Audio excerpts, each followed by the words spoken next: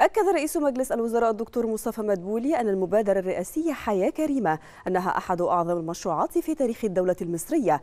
وخلال اجتماع مجلس الوزراء الأسبوعي أعرب مدبولي عن سعادته لحضوره الاصطفاف الخاص بالمبادرة مع عدد من الوزراء. كما توجه أيضا مدبولي بالشكر لجميع الجهات التي ساهمت وشاركت في تنظيم هذا الحدث وأكد التجهيز لانطلاقه وانطلاقة هذا المشروع الكبير مشيرا إلى أن المبادرة الرئاسية حياة كريمة سوف تغير حياة نحو 60 مليون مواطن في الريف بمشروعات تصل تكلفتها لنحو 700 مليار جنيه.